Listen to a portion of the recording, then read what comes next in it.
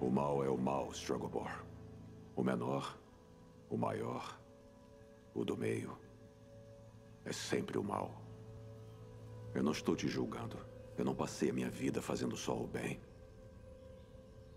Mas agora, se eu tiver mesmo que escolher entre um mal ou o outro, eu prefiro não escolher nenhum.